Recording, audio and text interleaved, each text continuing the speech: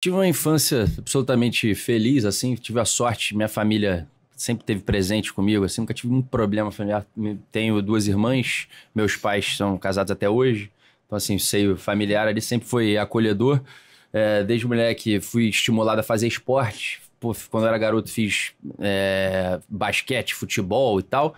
E logo quando eu fiz uns 12, quando eu tinha uns 12 anos, 12 para 13 anos, eu tava na natação e entrei no vôlei e fiquei. E nesse momento eu, tinha, eu fui convidado para participar da equipe de natação do, do Botafogo na época. Eu sou flamenguista, flamenguista doente, mas na época eu nadava no Botafogo, era mais perto da minha casa ali. Era, a piscina era no Morisco. E ao mesmo tempo fui chamado para a equipe de vôlei do Botafogo, que era no mesmo lugar que eu estava fazendo. E, cara, natação é, é um esporte que hoje em dia, inclusive, eu sou apaixonado, nado direto em treinamento pro Iron. E mas na época, quando é moleque sozinho, pô, na natação, tu chovendo, nevando, tu, tu dentro da água sozinho, duas, três horas. É solitário, pô, Solitário né, pra caramba. Solitário. Pô, vôlei mó galera. É, você sozinho, não importa o tempo, frio danado, tu na água de novo. Agora, vôlei, pô, geral junto, joga, se abraça, pá, torcida, não sei o que. Aí eu falei, ah, vou pro vôlei. E fui, comecei no vôlei. É, aí estudei no, no, no, no ensino médio e fundamental numa escola boa, é, no ensino médio, que eu comecei a estudar mais assim pro vestibular e tal, de maneira mais forte, vamos dizer assim, é, aprendi um pouco. Até umas técnicas que eu uso hoje em dia, eu aplicava naquela época inconscientemente, eu acabava fazendo aquilo, depois eu fui é, entender que até naquela época eu já usava. E, e, e, o vôlei sempre fez parte da minha vida, irmão. A vida inteira eu, eu fui aficionado pelo esporte. E quando você e, e, o esporte trouxe inúmeros benefícios na minha vida. Assim, o fato de eu não ter seguido a carreira profissional, eu fui profissional até os 25 anos, me profissionalizei no Flamengo. É, até os 25 anos eu joguei vôlei. E eu aprendi, meu irmão, inúmeras lições de vida com o esporte de alto rendimento, que era o que eu praticava, assim, sobretudo, inclusive, na preparação para concurso. Se eu várias vezes ficava na biblioteca até mais tarde do que estava todo mundo lá, é porque o esporte me ensinou que eu tenho que dar tudo até o final. Se eu tinha que acordar e estudar, mesmo sem vontade nenhuma, estava exausto, destruído, foi porque o esporte me ensinou que não interessa. Tu treina hoje, tu vai lá cumprir com o teu treino. Teu trabalho era treinar de manhã e à tarde, tu vai lá de manhã à tarde, não importa como tá o teu resultado. E eu, eu acho que muitas coisas eu aprendi ali no esporte. E, obviamente, com meus pais e com as minhas irmãs aprendo. São mais novas que eu, mas então, então me ensinam muita coisa. E passei, fiz o ensino médio, estudei e tal. Não sei da onde surgiu isso de ser policial, porque na minha família não tem um polícia. Isso aí foi uma coisa que surgiu comigo, realmente. Eu que tive essa vontade. Durante a faculdade, eu passei para a FRJ. Fiz o FRJ, Faculdade Nacional de Direito, aqui no Rio de Janeiro, ali em frente ao Campo de Santana, inclusive. Uhum. É, e naquele momento, eu, quando passei para a FRJ, eu, eu ainda estava jogando vôlei direto. É, levei a faculdade assim, totalmente nas coxas, irmão. Acho que dificilmente eu falo isso assim. É, é, bem. Eu posso afirmar perfeitamente. Poucas pessoas foram tão mal na faculdade quanto eu, meu irmão. Eu fazia nada. Agora, um vagabundo da história na faculdade. Ia, porra, é, faltava um monte de aula faltava prova, tomava zero, reprovado, atrasei a formatura um ano e pouco, assim, eu quase larguei a faculdade no meio, porque não era de maldade, não, mas eu tinha outros interesses na época. Eu tava jogando vôlei direto, treinamento, às vezes batia na hora do treino e tal. Não, não me empolguei muito assim em relação à faculdade no início. Mas estagiei na Defensoria Pública, fiz estágio lá dois anos, foi onde eu aprendi realmente as coisas na faculdade. O defensor que, que era o, o titular lá da vara, doutor Eduardo, pô, gente finíssima, sabia pra caramba de direito, me ensinou um monte de coisa. Então, direito penal e processual penal eu aprendi, era uma vara criminal, eu aprendi ali.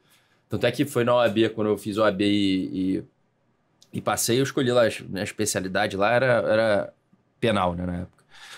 É, e ali foi onde eu aprendi, porque na faculdade realmente, mano, era um negócio de maluco, fazia nada, nada. Eu, quando eu ia pra faculdade era pra fazer prova, depois ficava na resenha, então eu só queria saber jogos, jogos, jogos, eu fui a todos, pô. Eu jogava vôlei e tal, a galera implorava pra eu jogar lá. Pô, eu jogava sozinho esporte coletivo, era um bagulho de maluco, pode perguntar pra qualquer um aí, pô. Eu ia lá porque é o 7 da Nacional, jogava com a 7. O 7 da Nacional vai jogar, era massacre em todo mundo e eu jogava, pô, e a galera era legal, assim, era muito maneiro mesmo. Então eu acabei ficando na faculdade mais por conta disso. No sétimo período eu falei, vou largar, chega, não aguento mais, isso aqui não é para mim e tal. Aí um camarada meu, Matheus, Matheus, um abraço, irmão. Tô aqui hoje, você também tem participação nisso. Ele que me inscreveu na grade lá e falou: pô, Vitor, não vai largar a faculdade no sétimo período, não vou deixar. Ele me inscreveu lá na época, era o SIGA, que era o negócio da FRJ lá, fez a minha grade eu fui.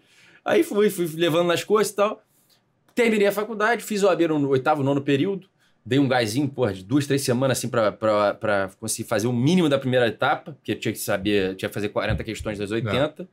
E a segunda fase não seria um problema, porque penal e processo eu estava alinhado lá em relação à defensoria, que eu tinha aprendido e tal, não, não ia me preocupar, fazer a peça e tal, fazer isso o dia inteiro. Então, minha preocupação era realmente a primeira etapa.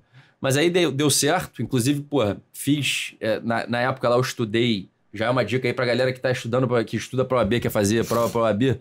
A OAB tem 17 disciplinas, 18 disciplinas, não sei. É, é, um conteúdo extenso, mas era uma prova que é feita para passar, irmão. Se tu tem, tem, três provas por ano, uma quantidade absurda de advogado que faz, que, que faz que de candidatos que viram advogados depois.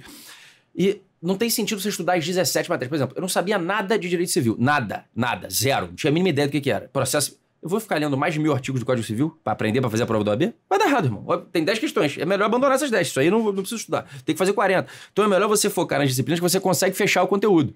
Penal e processo eu já sabia. O que, que eu estudei para o AB? Constitucional, administrativo, tributário, que é uma matéria desse tamanho você fecha, e ética. Falei, eu vou com isso aqui para prova. É isso aqui que eu tenho. Estudei para fechar, para acertar todas. Fiquei três semanas em casa, duas semanas me matando de estudar.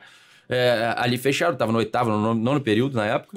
e fui fazer a porra da prova lá. Cheguei na prova, Recebi, fui nas que eu, nas que eu, sabe, comecei por ética, acertei todas lá, porque ética é um conteúdo bem tranquilo, todo mundo quem pra, são 10, irmão, são 40 tem que acertar. Pega 10, tu já tá no, um quarto da prova tá na tua um mão. Quarto da prova. Aí, penal, processo, enfim, fui fazendo. Quando eu resolvi, eu contei as questões, eu tinha certeza que eu tinha, eu tinha certeza que eu ia acertar 34. Contei lá na hora, eu falei, pô, tem 34 questões aqui, com certeza absoluta, eu acertei.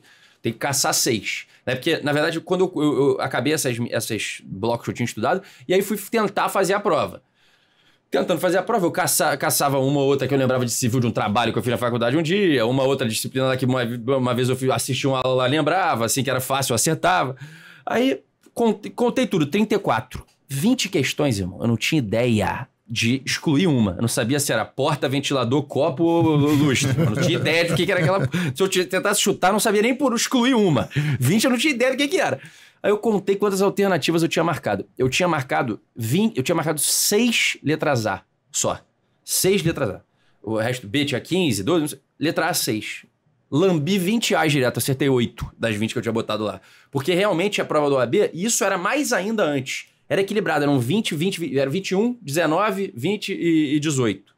No, no, meu, aí, quando descobriram isso, eles mudaram um pouco. Tinha sempre uma, uma letra, que era, é A, B, C e D, a, a B.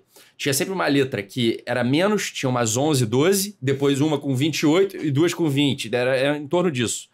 E eu sabendo disso, eu já sabia que eu ia fazer isso. Se eu não tivesse ideia, eu ia chutar tudo. Deu certo, porque eu, eu tinha acertado as quase todas que eu tinha feito, chutei as 20 ar lá, e aí cacei ali 8, que fica 44 na primeira etapa, não sei. Se eu tentasse fazer as 20, eu ia me arrebentar, não tinha uma ideia. Mínima ideia, com certeza. Aí peguei a carteira do AB, nunca exerci a profissão de advogado, continuei jogando vôlei, parei a faculdade, fiquei um ano e meio jogando vôlei depois de formado. E aí, lá no Flamengo, só que aí chegou um momento que eu tinha que fazer uma escolha, né? Bom, agora é o quê? Não vou, do jeito que eu tô, não vou ganhar dinheiro como profissional de vôlei. É, recebi uma proposta para jogar nos times do Sul, dava para ter ido. Ah, poderia jogar e me destacar e tal no cenário para jogar até os 30, 35 anos. E depois? Vou fazer o quê da minha vida? Depois que eu me formar? Ganhando, ganhando dinheiro, até, salário de atleta. Aqui no Brasil, que, pô, pra tu viver disso tem que ser seleção brasileira, irmão para ganhar dinheiro mesmo, tem que chegar nesse nível. Não era o meu caso. Ou poderia sair do Brasil. Eu tenho dupla cidadania, dava para jogar na, na, Europa sem entrar na cota de estrangeiro, ia ganhar em euro lá, mas, porra, sair do Brasil, me amarro no Rio de Janeiro, me sair do Rio já foi difícil quando eu passei. Eu falei, quer saber, mano? Agora eu vou, vou estudar para concurso. Que que eu vou, pra que área que eu vou estudar? Direito não gostei. Eu olhei as carreiras e falei, pô, a única que eu vou me amarrar é delegado. Com certeza é a que tem mais a ver comigo.